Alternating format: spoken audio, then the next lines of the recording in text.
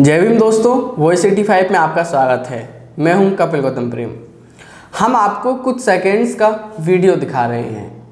वह देख लीजिए फिर इस पर बात करते हैं।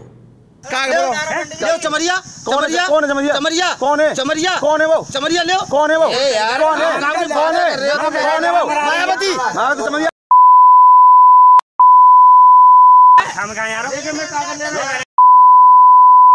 कर रहे हो यार? कोई लेना नहीं देना।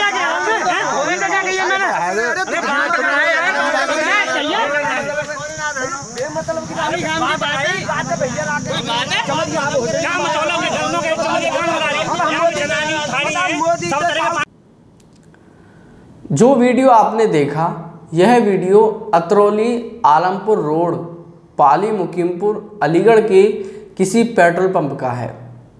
जहाँ कुछ लोग खड़े हैं और एक व्यक्ति, उत्तर प्रदेश की पूर्व मुख्यमंत्री मायावती जी को जाति सूचक व अभद्र भाषा का प्रयोग करते हुए अभद्र भाषा में बात कर रहा है। दिखने में यह व्यक्ति साधारण लग रहा है, लेकिन जिस टोन में वह बात कर रहा है, लगता है जैसे मायावती जी ने उसका घर बार छीन लिया हो और उसकी कहीं सुनवाई नहीं हो रही। लेकिन मामला ऐसा है नहीं। अलीगढ़ उत्तर प्रदेश का एक शहर है, लेकिन इस तरह के कुंठा विसर्जन के लिए स्थान कोई भी हो सकता है।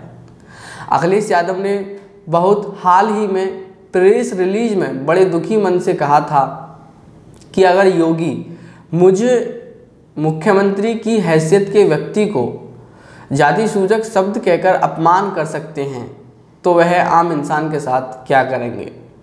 क्या कोई दलित या आदिवासी इस तरह की टिप्पणी सवर्णों पर करके आज के माहौल में बच सकता है?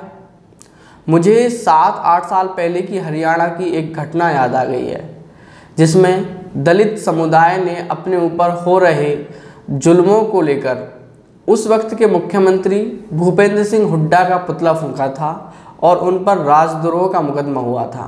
बच्चों तक जेल में डाल दिया गया था। सरकार कोई भी हो कुछ खास समूह के दिमाग में दलितों के प्रति जहर बनना बंद नहीं हुआ है। शायद वह इंसान बनने की प्रक्रिया में भी अभी दाखिल नहीं हुए। बहरहाल जैसी भी स्थिति हो, इस घटना की कड़ी निंदा तो होनी ही चाहिए। साथ में इस पर कड़ी कार्रवाई भी होनी चाहिए। जय भीम। वीडियोस को लाइक करें, शेयर करें और कमेंट के ज़रिए अपनी राय दें। साथ ही में बेल आइकन को दबाना ना भूलें ताकि हमारे नए वीडियोस की जानकारी आप तक सीधे पहुँचती रहे। आपके सुझाव हमारे लिए बेहद महत्वपूर्ण हैं, जिसके लिए आप हमारे voice eighty five dot at the rate Gmail dot com पर संपर्क कर सकते हैं। जय भीम।